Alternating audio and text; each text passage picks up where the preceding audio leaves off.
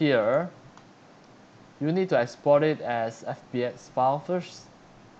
Now I can close the Google Chrome browser here. Alright, here I will open a new folder. I will name it chair02. I will export as FBX file inside this folder, file, export, 3D model,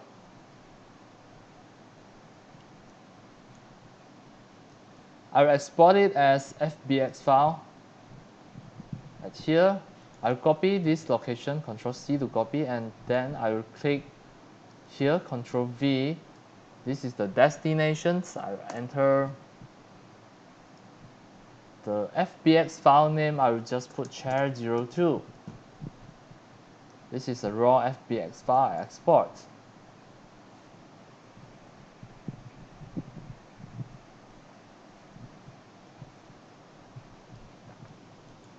Right, this is a chair 02 FBX. If I double click, I can check with my 3D viewer. And this is the chair. It is really awesome.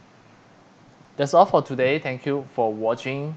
If you love my video tutorial, if you feel all these tutorials are very helpful to your 3D animation and game developing, you can subscribe to my YouTube channel and also turn on the mini bell and select all to activate the notifications so that when next time I publish a new video tutorial, you receive a notification immediately. See you in my next video. Enjoy and happy animation and game developing. See you.